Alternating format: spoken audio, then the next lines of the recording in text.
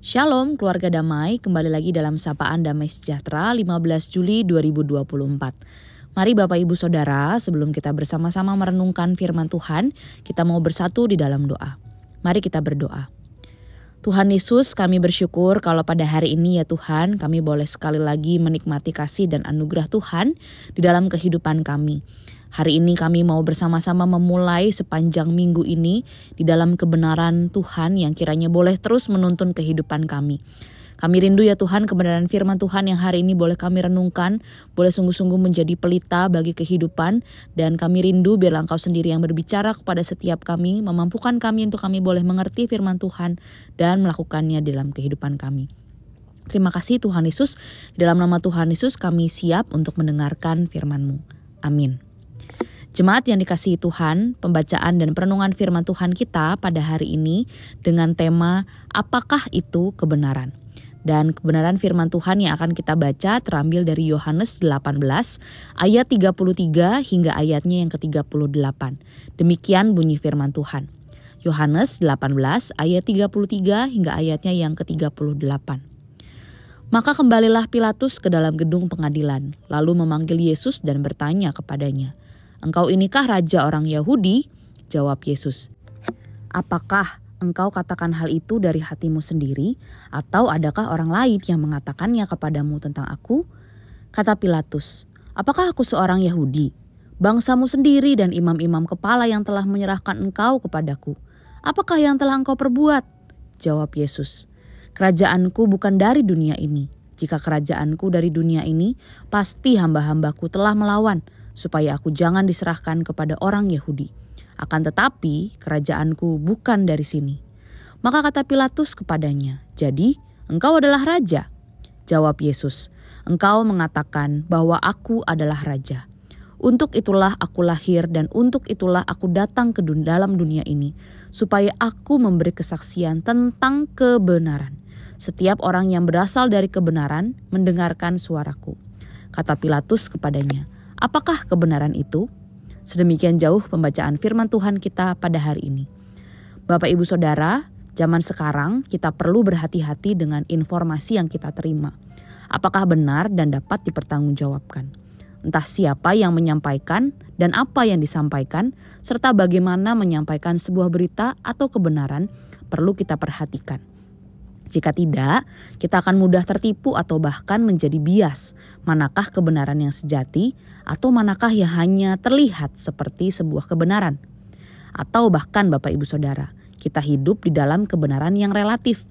Kebenaran yang hanya disesuaikan dengan keadaan atau hanya menjadi kebenaran yang subjektif yang menurut saya benar belum tentu menurut orang lain benar.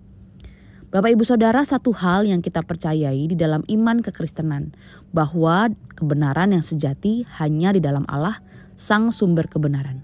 Oleh sebab itu Bapak Ibu Saudara, firman Tuhan yang sudah kita baca dalam Yohanes 18 ayat 33 sampai 38a, di sana dituliskan ada seorang yang mempertanyakan, apakah kebenaran itu kepada sang kebenaran. Jika kita lihat Bapak Ibu Saudara, hampir 2000 tahun yang lalu, Tuhan Yesus satu-satunya pribadi yang berani mengatakan dan mempertanggungjawabkan sebuah perkataan bahwa dia berkata, "Akulah kebenaran dan hidup." Dialah yang justru diadili dan dipertanyakan kebenarannya oleh mereka yang sebenarnya mengabdikan dirinya kepada dusta, kepada kebohongan. Bahkan Tuhan Yesus, sang kebenaran itu, harus menghadapi enam pengadilan dalam waktu kurang dari satu hari penuh. Tiga dari antaranya adalah pengadilan agama dan yang lainnya merupakan pengadilan hukum. Mereka yang terlibat dalam peristiwa-peristiwa itu sebenarnya bisa menjawab pertanyaan ini, apakah yang dimaksud dengan kebenaran itu?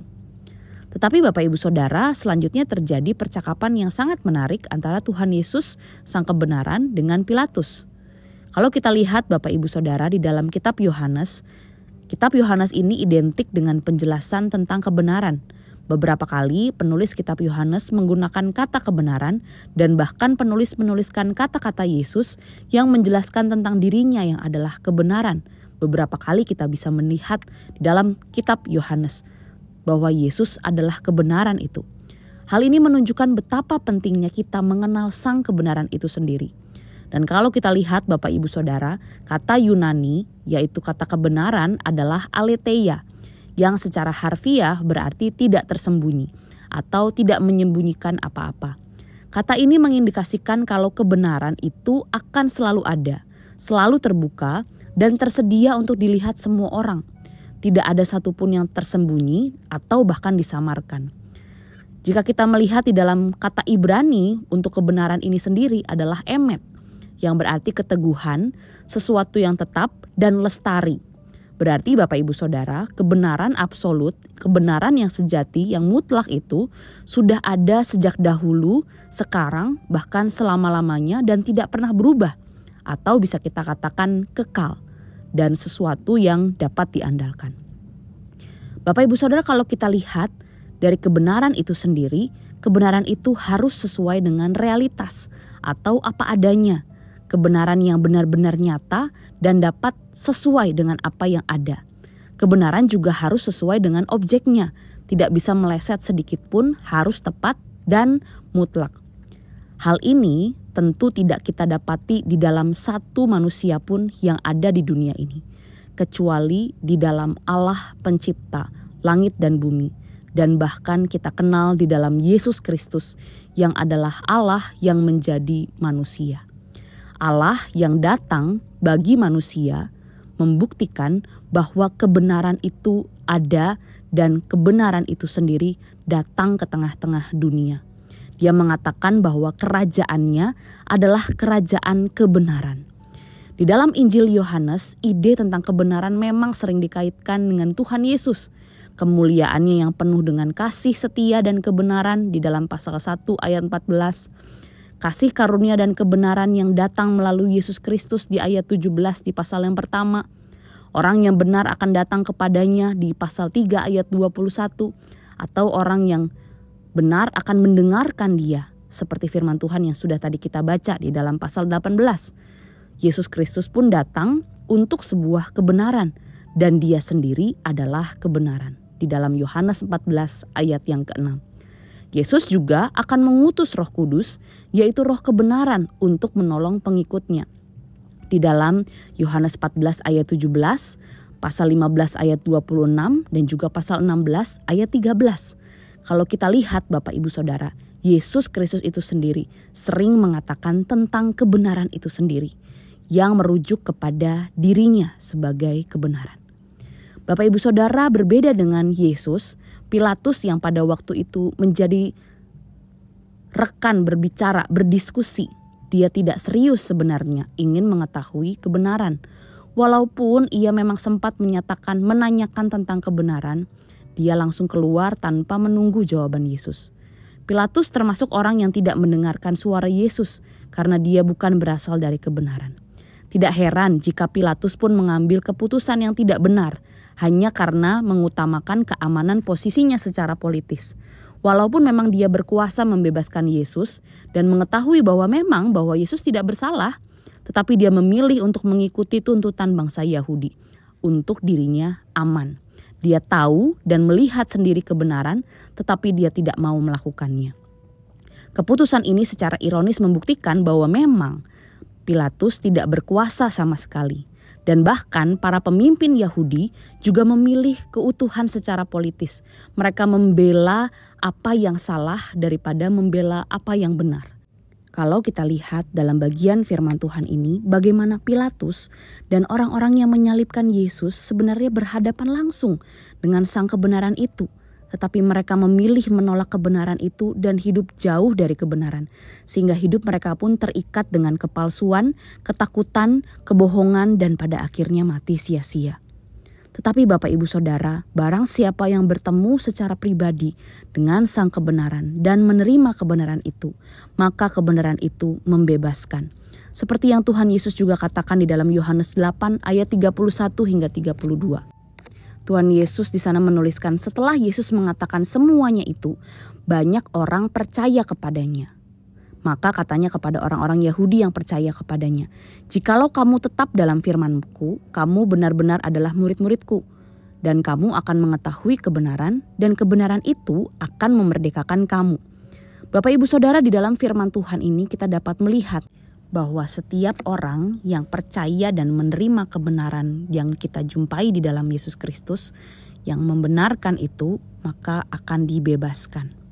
Allah pun memberikan kebenarannya yang absolut di dalam Alkitab, sehingga barang siapa yang hidup di dalam firman-Nya, ia hidup di dalam kebenaran. Bukan seperti Pilatus dan orang-orang banyak yang mereka melihat sendiri kebenaran di hadapan mereka, tetapi mereka tidak percaya dan tidak menerima kebenaran. Oleh sebab itu, Bapak, Ibu, Saudara, setiap kita yang mendengar kebenaran pada hari ini, biarlah kita sungguh-sungguh menerima Yesus Kristus sebagai kebenaran dan hidup, dan percaya bahwa di dalam Yesus kita menerima pembenarannya, sehingga hidup kita pun dibebaskan dan kehidupan kita dituntun di dalam kebenarannya.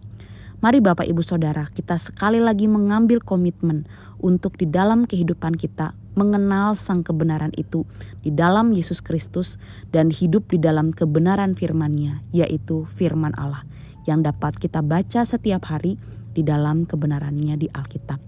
Mari Bapak Ibu Saudara, kita mau bersama-sama untuk sungguh-sungguh menerima dan hidup di dalam kebenaran Yesus Kristus. Sehingga kita bukan hanya sekedar tahu, tapi kita menghidupinya dan kita boleh sungguh-sungguh dituntun di dalam kebenaran. Mari Bapak Ibu Saudara kita bersatu di dalam doa. Mari kita berdoa.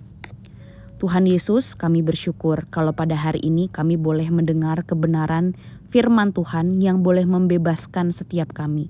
Kami bersyukur kami boleh mendengar bahwa Yesus Kristus adalah kebenaran Allah yang boleh datang ke dunia menjadi manusia untuk menyelamatkan dan membebaskan kami ya Tuhan dari segala belenggu dosa, dari segala belenggu kematian yang mengikat kami dan menyembunyikan kami dari Engkau tetapi kami boleh menerima kebenaran yang sejati di dalam Yesus Kristus yang telah mati di atas kayu salib dan boleh membenarkan kami, sehingga kami pun boleh menjadi anak-anak Allah dan kami boleh hidup di dalam kebenaran-Mu yang sejati.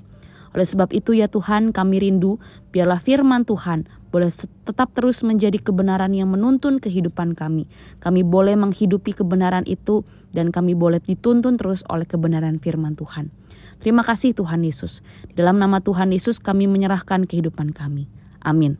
Selamat beraktivitas Bapak Ibu Saudara, Tuhan Yesus memberkati.